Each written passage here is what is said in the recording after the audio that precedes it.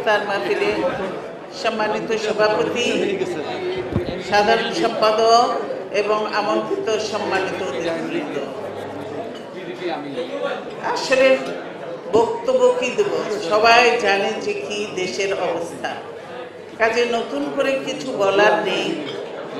তারপরেও বলব যে প্রতিনিয়ত দেশের অবস্থা আরও খারাপ হচ্ছে, দিনে দিনে খারাপ হচ্ছে। প্রতিনিয়ত দেখেন, জিনিসপত্রের দাম বেড়েই চলেছে, কমছে না। আজকে গরিব মানুষ দুই বেলা পেট ভরে খেতেও পায় না। এমন একটা অবস্থায় এর মধ্যেই গ্যাসের দাম বাড়ছে, এর মধ্যে বিদ্যুতের দাম বাড়ছে, এর মধ্যে দ্রব্যমূল্য তো প্রতিটি চাল থেকে আরম্ভ করে চাল, ডাল, তেল, লবণ, সবজি সব কিছু দাম গ্রামীণ জনগণের একদম ক্রয় ক্ষমতার বাইরে চলে তো মানুষ আজকে সত্যিকারে একটু শান্তিতে বাঁচ- বাঁচার মতো অবস্থায় নেই। সেই জন্য মানুষ চায় যে দেশের শান্তি, মানুষ চায় দেশের উন্নতি, মানুষ চায় দেশের অগ্রগতি। কিন্তু এখানে দেশের কোনো উন্নতি নেই। আছে শুধু একটা একটা দলের উন্নতি। তাদের সব দিক থেকে তাদের কোনো কিছুর সমস্যা নেই। তারা মহা আনন্দে আছে এবং তারা এভাবেই থাকতে চায়। এখনও খুন, গুম, হত্যা, নির্যাতন এগুলো চলছে, নারী নির্যাতন এগুলো সবই চলছে। এখন পর্যন্ত এরা এর কিছুই করতে পারে নাই। তাই আজকে মানুষ স্বাভাবিকভাবেই অস্থির হয়ে উঠেছে। রোজার পরে হয়তো মানুষ নিজেরাই ঐক্যবদ্ধ হবে। আপনারা দেখেছেন, এর মধ্যে যে সরকার কেবল বাজেট দিল, এই বাজেটে দেখেছেন বাজেটে গরিব মানুষকে গরিব মারার বাজেট এটা। এই বাজেটে আরও নতুন নতুন শুল্ক কর বসানো হয়েছে ভ্যাটের পরিধি বাড়ানো হয়েছে। আবার নতুন করে শুল্ক বসানো হয়েছে। ব্যাংকে যে টাকা রাখবেন এক লাখ টাকা রাখলেই আটশো টাকা কেটে নেবে। এই অবস্থা। কিন্তু তাদের টাকা তো আর এই দেশের ব্যাংকে নেই। চিনারা এগুলো করবেন? তাদের টাকা সব দেশের বাইরে। কাজে তাদের টাকা তো আর কাটা যাবে না।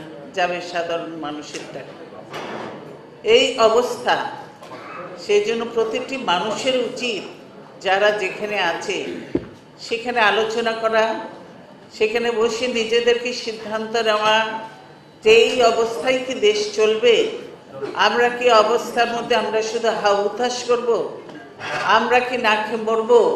আজকে পুলিশেরা পুলিশের বিরুদ্ধেও ও, পুলিশও অত্যাচার করছে এবং পুলিশের উপরেও আওয়ামী লীগের লোকজন ব্যাপকভাবে অত্যাচার করছে। পুলিশও কিন্তু অত্যাচারী।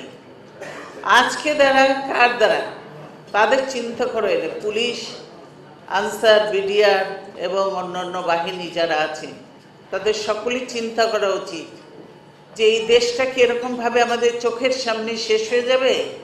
আর একটা শ্রেণি তারা এমন এক অবস্থায় নিয়ে যাবে দেশকে নিজেরা ফুলে ফেপে বড় হয়ে তাদের মাধ্যমে তারা, তাদেরকে ব্যবহার করে তারা আজকে এইভাবে চালাতে থাকবে। দেশ আর সাধারণ মানুষ গরিব থেকে গরিবভাবে ধ্বংস হবে, মরবে।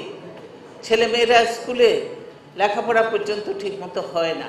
স্কুলগুলির অবস্থা দেখেন। এক এক জায়গায় এক রকম অবস্থা। বিশ্ববিদ্যালয়গুলির অবস্থাও ভালো নয়। সেখানে সব দলীয়করণ, দলীয় লোক তাদের যোগ্যতা অযোগ্যতার কোনো বিচার নেই। এইভাবে চলছে।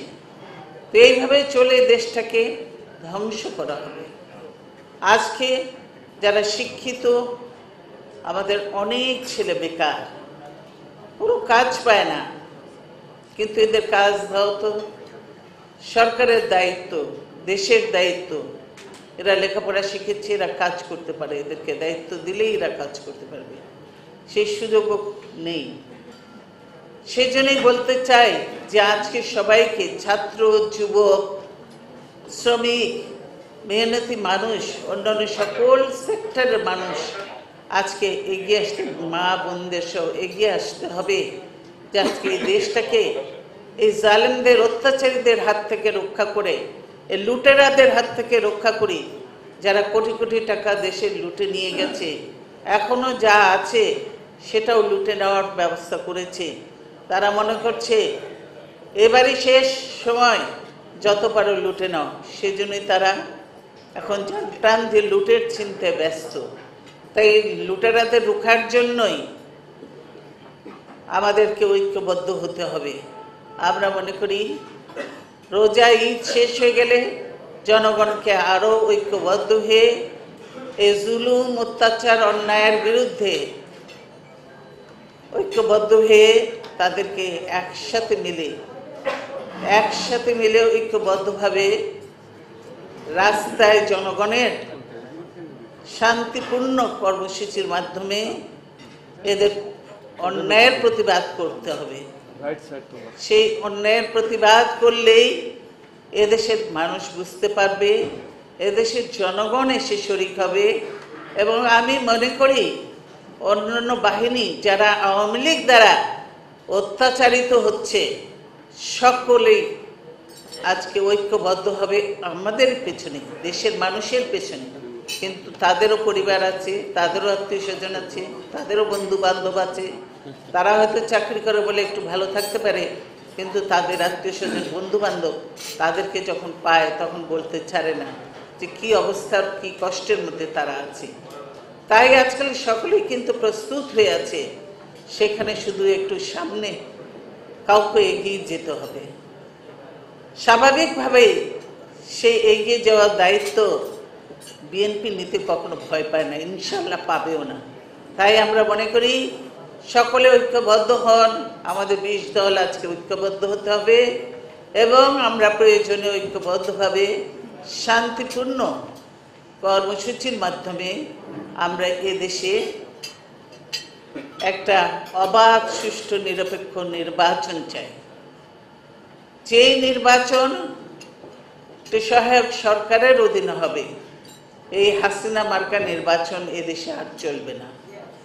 এই হাসিনা মার্কা নির্বাচন বাদ দিতে হবে এদেশের কোনো মানুষ হাসিনা মার্কা নির্বাচন, হাসিনার অধীনে নির্বাচন কেউ চলবে না। কালকে দেখলাম খবরের কাগজে আওয়ামী লীগের মহিলারা বলেছে যে আমরা নির্বাচন চাই না, আমরা হাসিনাকে ক্ষমতায় চাই। কত আবদার দেখেন।